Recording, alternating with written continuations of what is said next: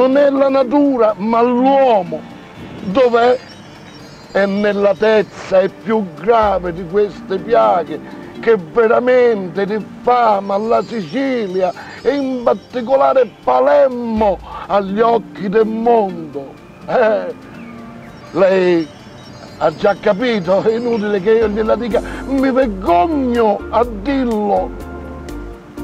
È traffico il traffico urbano, schiavitù della società moderna, uno dei mali di Palermo, come dice nella scena cult del film Johnny Stecchino, il bravissimo Paolo Bonacelli che veste i panni di un ambiguo personaggio nel film del popolare comico toscano Roberto Benigni, amatissimo in tutto il mondo.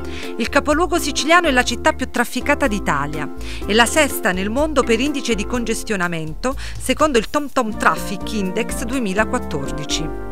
Ma il traffico di auto in città e i suoi nefasti effetti sulla qualità della vita non sono, una volta tanto, prerogative solo italiane. Inquinamento atmosferico, rumore, insicurezza per gli utenti deboli della strada, congestione e rallentamento dei tempi di spostamento per tutti, un fenomeno conosciuto un po' a tutte le latitudini anche dagli automobilisti di Montreal.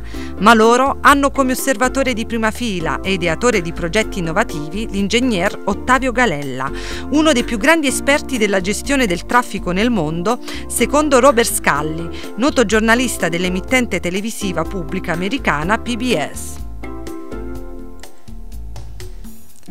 La sua eccellenza nella gestione della mobilità è la motivazione del premio Lucana Insigni 2012, in qualità di portavoce qualificato dell'identità lucana, radice culturale dei suoi tanti successi.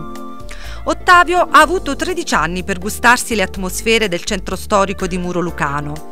Poi, trascinato in Canada, si porta con sé il sogno di poter collegare, mettere in comunicazione il cuore storico delle città con il resto delle arterie stradali.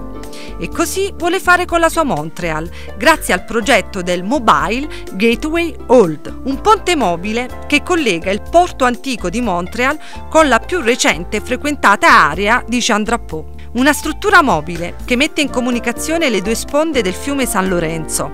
Sarà un'opera di mobilità urbana destinata al passaggio di navi, automobili, pedoni e biciclette. Sarà infatti il ponte ciclabile più lungo del mondo. L'infrastruttura è solo una parte della pianificazione strategica del trasporto in città. Galella raccomanda un pedaggio variabile in modo da modulare la domanda di traffico regionale in funzione della capacità delle infrastrutture. L'offerta di trasporto pubblico può essere così migliorata e incrementata dai guadagni provenienti dal pedaggio stesso. Stella polare dell'attività di Galella, d'altronde, è l'individuazione e la pianificazione di un sistema di mobilità integrata. Pedaggi, piste ciclabili e pedonali, trasporto pubblico e privato, trasporto condiviso, come carpooling e car sharing.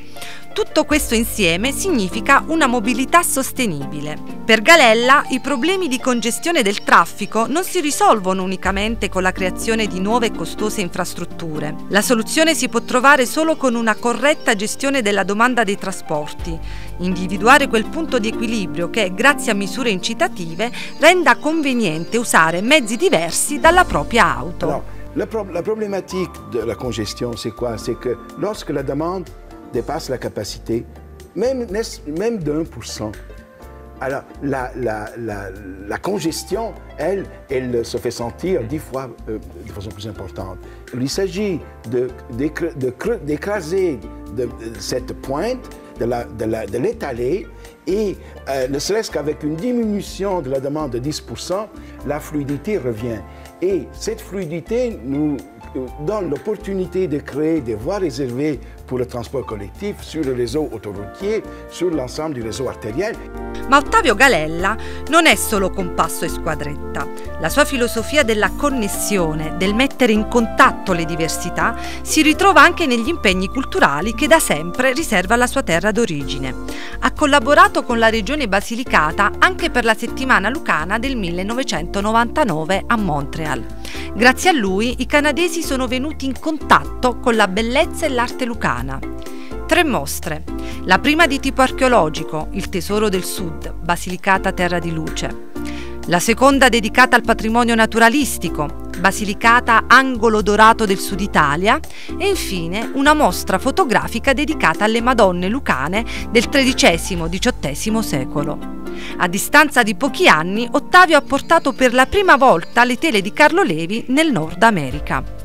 Insomma, se Benigni conoscesse Ottavio, ne stimerebbe sicuramente la dote di uomo costruttore di ponti tra le città e tra gli uomini.